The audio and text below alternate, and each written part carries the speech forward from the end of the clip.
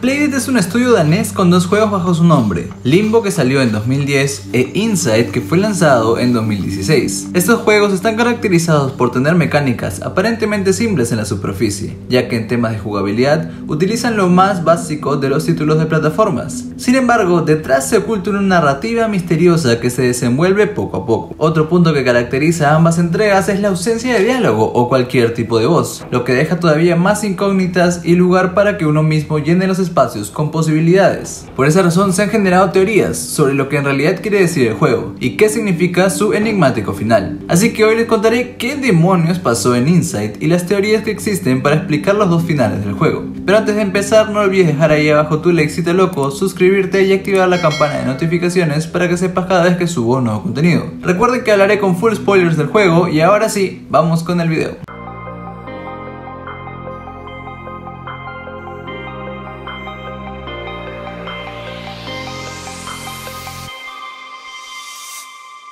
Insight es un juego que cuenta su historia de una forma bastante peculiar. No existen diálogos que nos expliquen qué sucede, no hay archivos que podamos leer para obtener más información, ni nada parecido. Todo se basa en lo que puedes ver y lo que no ya que adrede existen muchos vacíos en la narrativa para que los jugadores completen con sus propias ideas. Pero primero veamos qué nos muestra el juego. Les contaré la historia de Insight. Desde una formación rocosa en medio de un bosque lúgubre se asoma un niño. Al salir de la parte más frondosa de este y superar una primera barrera, se encuentra con otras personas que utilizan máscaras, pero rápidamente descubre que son una amenaza. Desde este punto se dedica a escapar de los hombres con armas y sus perros de caza hasta llegar a una zona rural. Esta zona se encuentra repleta de cadáveres de cerdos, pero uno de ellos se levanta repentinamente y carga contra él. Una vez que logra derribarlo, nota que hay una serie de parásitos saliendo del animal y que básicamente controla todos sus movimientos. Luego de retirarlo y mover el cerdo, descubre un dispositivo que tiene la misma habilidad que el parásito, controlar a otros seres vivos, específicamente a unas personas que se encuentran en el fondo. Sin embargo, se puede ver que inmediatamente retirado el artefacto, las personas caen al suelo como si fueran maniquís. Este pequeño sigue avanzando hasta llegar a la ciudad, en la que podemos ver más de estas personas zombificadas caminando en la misma dirección mientras algunos guardias las vigilan. En un intento por abrirse paso entre unos edificios abandonados,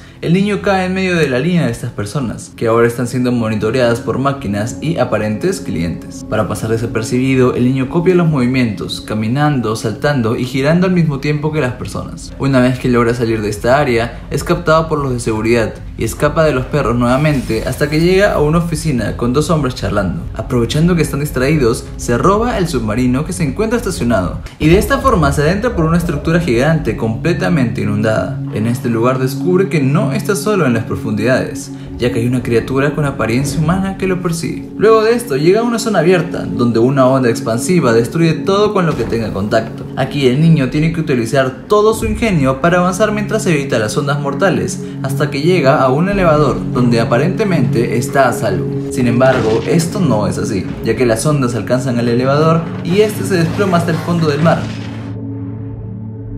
el niño logra salir de esta trampa metálica y continúa su camino por más zonas inundadas con cuidado, pues ahora ya no tiene el submarino que lo proteja de ahogarse y de las criaturas que se encuentran en estas oscuras aguas. Con mucho esfuerzo logra mantener a la criatura alejada, pero al momento de escapar por una cadena, esta colapsa y el niño cae al agua. La criatura logra atraparlo y lo arrastra hasta el fondo del mar. Cuando parece que ya todo está perdido para el protagonista, la criatura le conecta una especie de cable con un dispositivo que después de varios minutos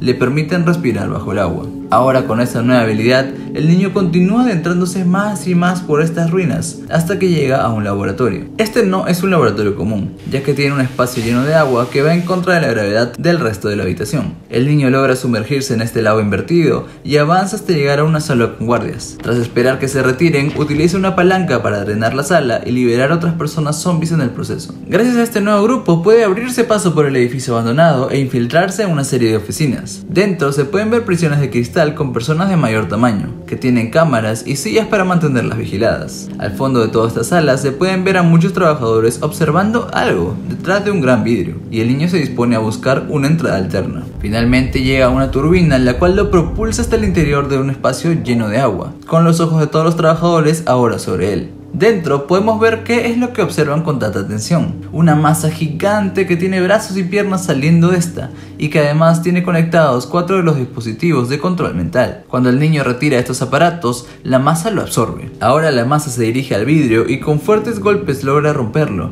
y ser liberada al exterior.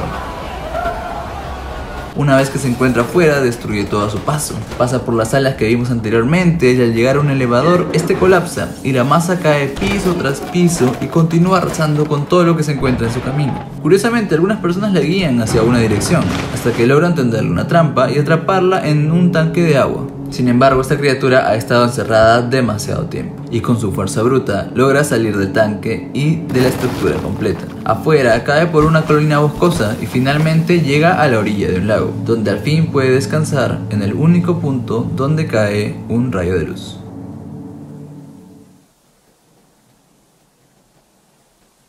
Esta es toda la historia que nos muestra el juego, sin más contexto y sin más explicaciones. Sin embargo, durante toda la travesía podemos ver pistas, y al final el estudio quiere que usemos nuestra imaginación para unir todos los puntos sueltos de esta entrega. Primero les comentaré la teoría que yo comparto, y luego les mencionaré algunas otras que he encontrado por ahí. Para mí, esa es la teoría más sólida que explica muchos puntos del juego. El punto base es que la masa de brazos y piernas que vemos al final controla al niño durante la totalidad de la historia. Inicialmente vemos al niño saliendo de un bosque y escapando de los guardias. No tenemos idea de a dónde se dirige o cuál es su objetivo. Sin embargo, se mueve como si una fuerza lo estuviera impulsando, exactamente a dónde debe estar. ¿Y qué tal si la fuerza es el control mental de la masa gigante? Durante todo el juego hemos visto cómo funcionan los dispositivos de control utilizados por el mismo niño y podemos deducir que todo esto es parte de experimentos para crear humanos marionetas que puedan ser controlados para hacer distintos trabajos. Hemos visto estas marionetas en lugares como granjas, almacenes y zonas de construcción. Además, creo que queda más que claro que son un producto para el público cuando pasamos por la línea de muestra y tienen que moverse según lo indicado. Todo este proceso de control tiene como base los cascos que podemos encontrar desde el inicio del juego. Y si recuerdan, al final cuando el niño entra al tanque de agua, la masa gigante tiene cuatro de estos dispositivos adheridos lo que puede significar que es la principal fuente de control e incluso el experimento más importante de estas instalaciones. Lo que yo creo es que los científicos en este mundo descubrieron a los gusanos parásitos que vimos al inicio controlando al cerdo. Una vez que se dieron cuenta de su habilidad, comenzaron a experimentar con seres humanos y en su intento de obtener una forma de controlar una gran cantidad de personas al mismo tiempo, terminaron creando a la masa gigante. Entonces, con sus poderes de control mental, la masa pudo tomar posesión de este niño, que probablemente es una de las futuras marionetas. De esta forma, lo guió hasta su tanque para poder liberarla. Otro punto que reafirma esta teoría es el final secreto del juego. Hasta ahora no había mencionado este elemento, pero ahora sí les explicaré de qué va. En varias partes del juego tenemos objetos coleccionables en formas de esferas que debemos desactivar. Una vez que desconectamos el último, podemos ver una serie de luces en el fondo, y todas se apagan excepto una. Ahora para poder desbloquear este final debemos dirigirnos al capítulo de la granja. En medio de lo que parece ser un maizal vamos a encontrar una entrada secreta y en el fondo una puerta con un tablero. Aquí introducimos una secuencia de botones que nos da acceso a una sala con un dispositivo muy similar a los cascos de control, pero con una serie de cables que se dispersan hacia distintas direcciones. El niño encuentra un cable en la pared y una vez que lo desconecta nos damos cuenta que es la fuente de poder de todo el sistema. Y una vez que todo se apaga, vemos como él colapsa y se coloca en la misma posición que las otras personas que son controladas a lo largo del juego. Para mí esto ya deja súper claro el de la masa sobre el niño, ya que sin energía y sin señal no puede moverse. Yo creo que esta es una de las razones por las que el juego lleva el nombre de Inside. Al principio tenemos la idea de que el niño se encuentra escapando de algo, pero en realidad está infiltrándose cada vez más dentro de la ciudad y de los secretos que se ocultan en su interior. Esta es la teoría que para mí suena más posible y mejor fundamentada, pero por supuesto existen otras más. Una de ellas, que es bastante parecida, es que el niño y la masa gigante son una sola entidad. La mayor diferencia aquí es que el niño vendría a ser un producto de la masa gigante, aunque no quedaría claro en por qué aparece en otro lugar al principio del juego.